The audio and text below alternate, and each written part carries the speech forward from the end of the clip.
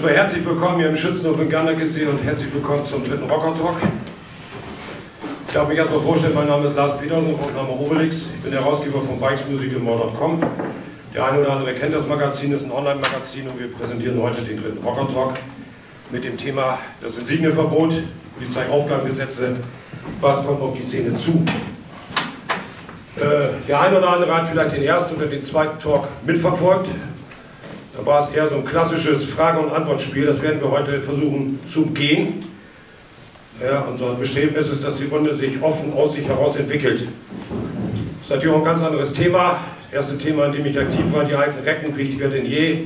Ist ja relativ geschmeidig. Jeder, der in der Bande ist, hat irgendwelche Altmember, die den Club maßgeblich mitgeführt haben. Kann man natürlich mitreden. Heute reden wir über juristische Themen, über rechtliche Themen. Also das wird mit Sicherheit auch ein bisschen mehr in die Tiefe gehen. Und ich denke, Stiebel ist diesbezüglich sehr gut vorbereitet. Erstmal ist grundsätzlich das, was ich jetzt sehe, eigentlich genau das, was damals vor meinem geistigen Auge ablief, als ich dann schlussendlich die Entscheidung getroffen habe, dass wir das Ding wieder aufmachen. Nämlich ein Kessel Buntes. Und ich sage Respekt, Leute, der weiteste, glaube ich, aus München oder hinter München, das ist eine geile Nummer. Es passt alles, das Wetter ist gut, Kessel Buntes, Freebiker sind da, F ist da, es ist nämlich genau das, was die Szene ausmacht. Und insofern denke ich mal, hat man jetzt schon, egal was hier gleich passiert, sicherlich in jedem Fall auch eine Message gegeben und dafür danke ich euch. Ähm, zwei Sachen will ich sagen, weil es zum Thema passt. Der Staat ist der Souverän. Habt ihr alles schon mal gehört, wahrscheinlich in der Schule, in der Staatsbürgerkunde, wo die Leute euch so informiert haben über Pluralismus, Föderalismus, freiheitlich-demokratische Grundrechte, Freiheitsrechte. Und ich will das auch gar nicht in Abrede stellen. Der Staat ist der Souverän. Nur was ich von ihm erwarte, ist, dass er auf eine entsprechend fundamentale, souveräne Art und Weise die Gesetze vorbereitet, begründet, innerlich belegt und dann auch argumentiert. Stellen Sie also die Frage, ob das, was 2017 passiert ist, wo dann schlussendlich das Insignienverbot beschlossen wurde, ob das souverän war. Und geht mal mit mir zurück ins Jahr 2017. Ich will nur mal zwei Aspekte ansprechen. Punkt 1, die zweite Lesung im Bundestag. Da hat ein MdB der Unionsfraktion am Rednerpult das Wort ergriffen, hat so ins Plenum reingeschaut und seine Kollegen gefragt, habt ihr schon mal einen Rocker in die Augen geguckt? Ich weiß ja nicht bis heute, was er mir sagen wollte. Fakt ist, er hat dann verwiesen auf ein Gespräch mit einem Schauspieler. US-Serie Sons of Anarchy. Das ist ja das, was die deutsche Rockkultur also sowas von repräsentativ darstellt, Klammer auf, Ironie off, Klammer zu. Auf jeden Fall hat er den wahrscheinlich auf irgendeiner PR-Veranstaltung oder irgendeinem Filmfest getroffen, hat sich mit dem unterhalten wie gesagt, ich weiß bis heute nicht, was er mir damit sagen wollte. Was er aber noch gesagt hat, ist, dass er ein Fan dieser Serie ist. Finde ich ja schon mal per se geil, dass da einer so eine Aussage tätigt, sich einen Schauspieler nimmt, der gerne eine Rolle spielt und solche Rollen ja generell überzeichnet werden, um dann zu sagen, er ist ein Fan der Serie, aber das, was da abgewiegelt wird, ist genau das, was wir in Deutschland haben. So ein Schwachsinn. Also frage ich euch, ist das souverän? Mich nicht. Zweites Beispiel war die Lesung. Die wurde ja initiiert von der Linken, von Ulla Jelpke. Da kann ich mich noch gut erinnern, da saß Dr. Michael Alsdorf, kennt viele als Chef oder ehemaliger Chefredakteur der Biker News. Und neben ihm waren so zwei Rechtsgelehrten. Und die sind ja nicht von den Rockern eingeladen worden, das ist ja über das Gremium gelaufen und da sitzen ja nicht die Krücken. Sag mal, wenn ich einen neuen Starfighter konzipiere, setze ich ja nicht den schlechtesten Flieger dahin, sondern wahrscheinlich den besten, oder? Und da habe ich eigentlich gedacht, naja, okay, die machen da den Deckel drauf. Ja, was passiert? Der greift das Wort, sagt, ja, Eingabe habe ich vergessen, aber ich mache mich kurz, das könnt ihr so nicht machen. Das geht nicht.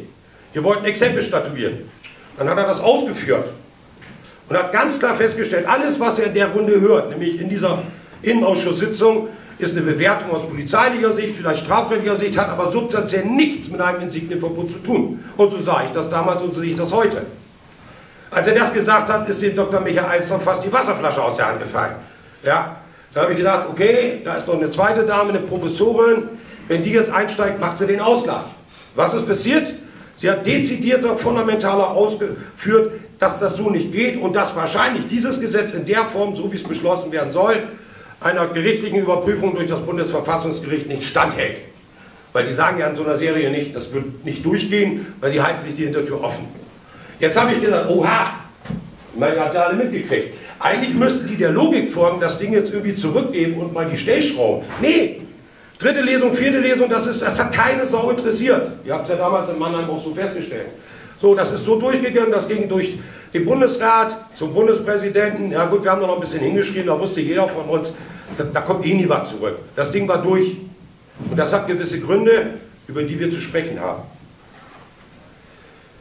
Ich wünsche euch auf jeden Fall einen interessanten, attraktiven Talk. Ganz wichtig ist, wir haben nachher den Open Talk. Und da hat jeder von euch die Möglichkeit, Fragen zu stellen zu dem, was gesprochen wurde, was euch interessiert und was zum Thema passt. Nutzt das. Beim ersten Block hat das super funktioniert und das macht das Ganze aus. Ja, holt euch die Infos, deswegen seid ihr da. Wenn ihr scheißen müsst, kein Problem, auch wenn die Kamera läuft, ihr könnt auf Toilette gehen, ihr könnt auch ein Getränk bestellen.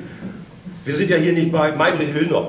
Ja, das ist clear, das ist roh, da kann auch meiner, naja, rülpsen soll die nicht, aber Handys bitte aus, ja, weil wenn hier plötzlich die Klingelei losgeht, weil die Jungs zu Hause neugierig sind, das muss wiederum nicht sein. Und ansonsten wünsche ich euch eine attraktive Veranstaltung und bedanke mich dafür schon mal, dass ihr da seid und möchte schlussendlich einfach mal die Runde vorstellen.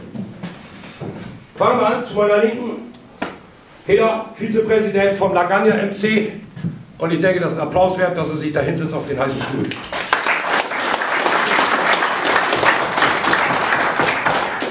Der nächste in der Runde vom Bassett MC, der Präsident Bassett MC Southwest, ganz genau der Ron. Der nächste von den Vorgästen, Michael Prozenter, Pressesprecher Bandidos MC. Neben ihm der Pressesprecher des Hells Angels MC Django 81. Daneben schön kuschelig aus Berlin der Friedrich 81, den hatte ich zwar nicht so im Zettel, aber okay, jetzt sitzt er da und mach was draus. Ja. Ihn auch bitte. Und zu dem Mann daneben gehe ich deshalb ein bisschen dezidiert darauf ein, weil er der Einzige ist, der nicht aus dem Club kommt. Publizist und Autor Lothar Berg aus Berlin. Ja, ich habe wirklich versucht, auch mal, ich will nicht sagen die Gegenseite, aber die andere Seite einzuladen. Mir war klar, das wird wahrscheinlich nicht gelingen, aber wir haben es versucht, Susanne Mittagboos, Pistorius, auch in der Journalie. Wir waren kurz davor, es hat nicht geklappt, die Sender haben gesagt, nein. Ja, wenn sie das Format nicht leiten können, wenn sie es nicht lenken können, sondern wenn wir diejenigen sind, die das vorgeben, eigentlich unter denselben Voraussetzungen wie in den Politalks, dann kommen sie halt nicht. Das könnte auch passieren, dass plötzlich Meinungen kundgetan werden, wo sie Probleme haben, das vorgefertigte Skript überhaupt abzuarbeiten. Weil hier musst du spontan machen. Insofern ist er leider der Einzige, aber ich bin froh, dass er da ist, dass es auch mit dem Shuttle geklappt hat. Und der letzte in der Runde vom Rolling Wheels MC North, Präsident Fischer. Der Dicke ist jetzt raus. Schön, dass ihr da seid. Ich gehe mal weiter an Schiebe.